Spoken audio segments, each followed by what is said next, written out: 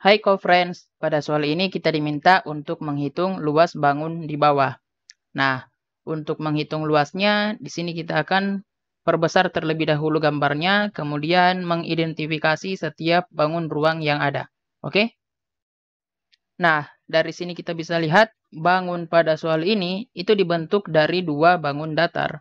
Oke, yang pertama itu yang di atas, saya berikan bangun satu. Kemudian yang di bawah itu adalah bangun 2. Oke? Jadi untuk menghitung luas bangun, di sini kita akan hitung luas 1 ditambah luas 2. Oke kok friends? Jadi selanjutnya kita akan hitung luas 1 terlebih dahulu. Nah, untuk luas 1 itu sama dengan luas belah ketupat. Karena bangun datar nomor 1 itu adalah belah ketupat. Nah, untuk belah ketupat itu ditandai memiliki empat sisi yang sama panjangnya. Nah, sisi pada bangun datar itu adalah garis pembentuk bangun datarnya. Nah, dari sini kita bisa lihat untuk bangun datar nomor satu, sisinya itu digambarkan dengan garis yang berwarna hitam. Nah, di sini kita bisa lihat sekilas garis yang berwarna hitam ini panjangnya sama. Seperti itu. Oke? Nah, kemudian pada belah ketupat, memiliki dua diagonal yang panjangnya berbeda. Nah, diagonal itu adalah jarak dua titik sudut yang berhadapan. Nah, titik sudut itu adalah pertemuan dua sisi. Nah, di sini kita bisa lihat titik sudutnya yang ini ya. Nah, diagonalnya yang ini.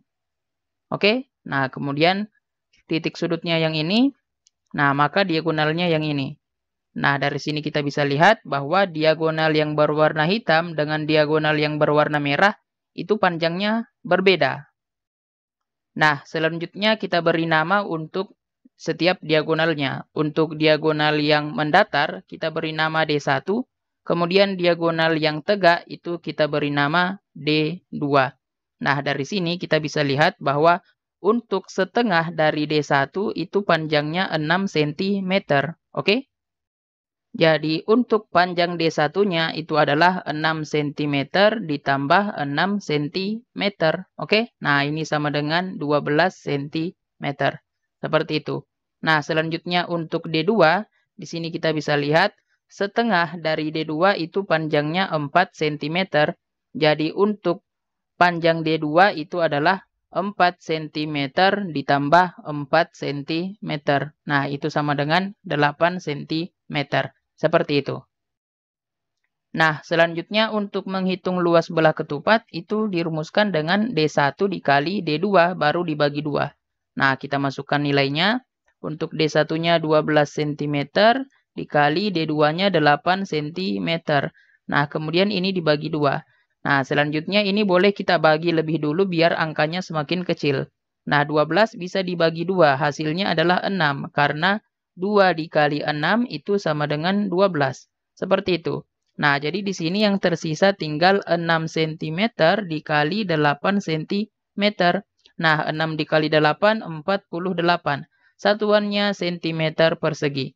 Karena cm dikali cm jadinya cm berpangkat 2. cm berpangkat 2 disebut cm persegi. Nah, inilah luas belah ketupat. Seperti itu. Nah, selanjutnya kita masukkan nilai dari luas 1 ke luas bangunnya. Nah, jadi kita dapat luas bangunnya itu sama dengan 48 cm persegi. Nah, ditambah luas 2. Selanjutnya kita hitung luas 2-nya. Untuk menghitung luas 2, itu sama dengan luas layang-layang karena bangun datar nomor 2 itu adalah layang-layang. Nah, layang-layang itu ditandai dengan memiliki dua pasang sisi yang sama panjang. Nah, di sini kita bisa lihat sisi yang sama panjang yaitu yang saya tandai dengan sisi yang berwarna biru. Oke? Dan sisi yang berwarna merah. Nah, inilah dua pasang sisi yang sama panjang. Seperti itu.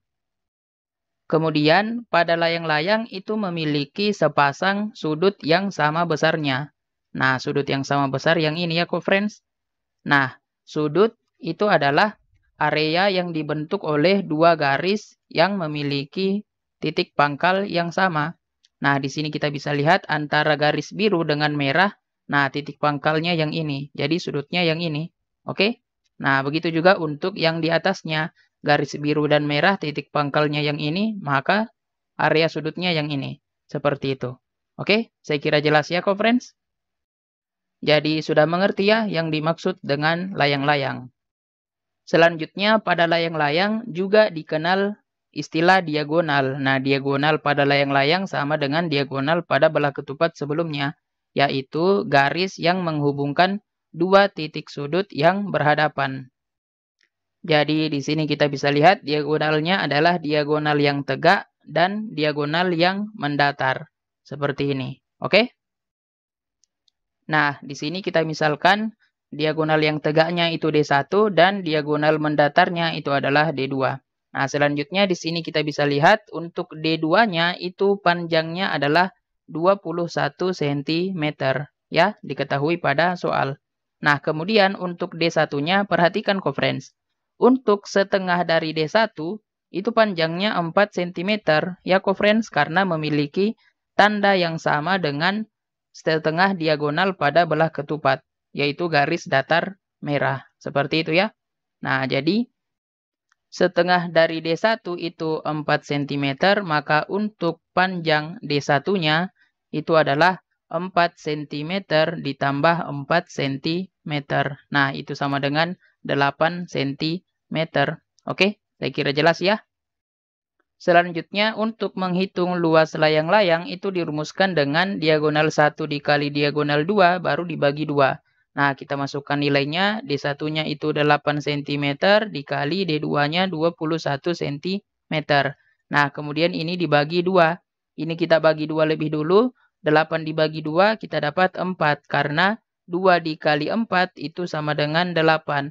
Jadi di sini yang tersisa tinggal 4 cm dikali 21 cm.